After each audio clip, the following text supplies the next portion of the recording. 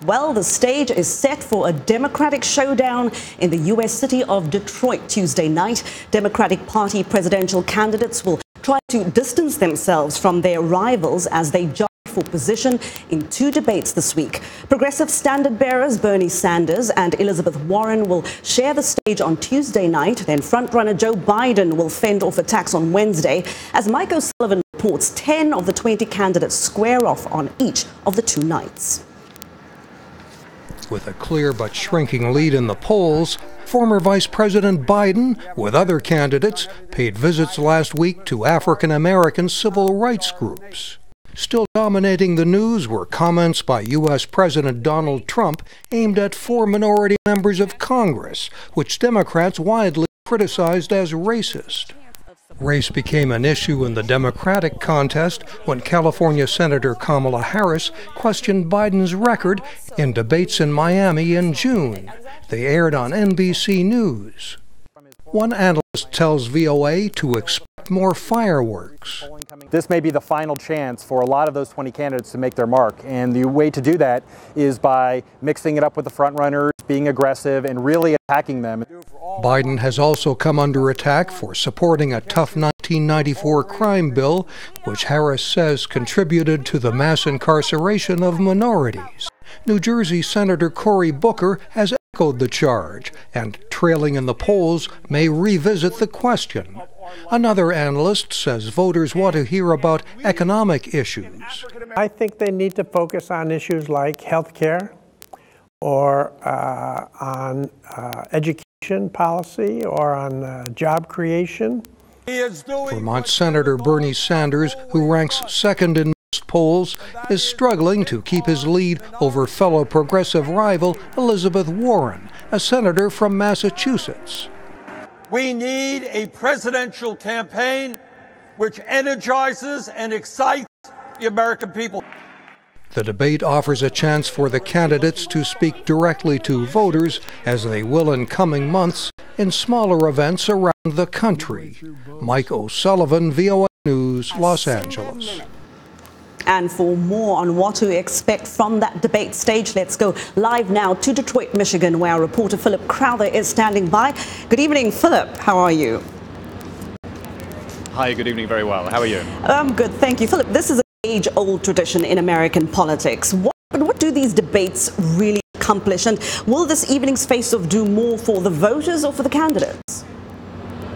Well, we're still so early in the process that for so many of these Democratic candidates, it's largely about introducing themselves still to the electorate. Remember that we're very early in this election campaign. There are going to be 12 debates altogether. We've reached only the second stage, and there are so many candidates that this debate, for example, here in Detroit had to be divided into two. There are going to be 10 candidates on stage this Tuesday, another 10 on stage this Wednesday evening. So, what can candidates do to really have an impact on voters? Well, first of all, they can try and create a viral moment, something that will be repeated on air on all US TV networks and channels for a long time. They can also attack each other, as was the case last month in Miami during the first debate when Senator Kamala Harris had that pretty aggressive attack on former Vice President Joe Biden.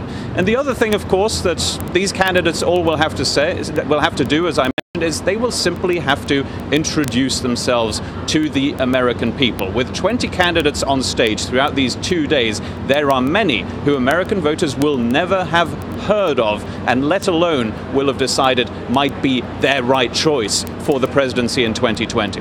Well, Philip, you spoke about viral moments, and of course, we've seen a real clash here in recent days and weeks after President Donald Trump targeted four Democratic congresswomen of color and then also Democratic Congressman Elijah Cummings. All those attacks seen as racially motivated. Looking at the lineup tonight, there doesn't seem to be a lot of diversity on the stage. Is race something that these candidates are likely to avoid or to address? No, they're going to address it. There is absolutely no way uh, that these 10 candidates this Tuesday night and the next 10 candidates on Wednesday night will be able to avoid the very thorny subject of racism. They will all be criticizing the president for what they will see clearly as racist remarks from him and racist tweets over the last few weeks. The only question is which one of these candidates is to be the most aggressive uh, toward the president. But you are absolutely right in talking about the lack of diversity on stage. This is generally a diverse field of Democratic candidates, but on this Tuesday night, it's basically a white field of candidates that we'll see here in Detroit at the Fox Theater in the downtown area of the city. On Wednesday, it's going to be a little bit different. For example, we'll have on stage Julian Castro. He wants to be the first Hispanic president of the United States. Not doing too well in the polls, but still, it would be a first, of course. Then there's Senator Kamala Harris of California. She would not only be, of course, the first female president of the United States, she would be the first female African American president of the United States. So there's quite a bit of diversity in this field after all. Uh, Philip, a wide field and a wide range of issues. Very briefly, what are the other issues that are likely to drive the questions tonight? Well, there's going to be healthcare, for example, how much uh, federal involvement these candidates might want to see in healthcare in the United States. We will be hearing a little bit about foreign policy, one would presume. Uh, will these candidates want to re enter the nuclear deal with Iran, for example? Will they want to re enter the climate deal with Paris, uh, signed in Paris? These are some of the elements that we're looking out for here at this second, uh, second series of Democratic presidential, uh, Democratic debates here in Detroit. Well, Philip Crowther there reporting for us live from Detroit, Michigan. Philip, thank you.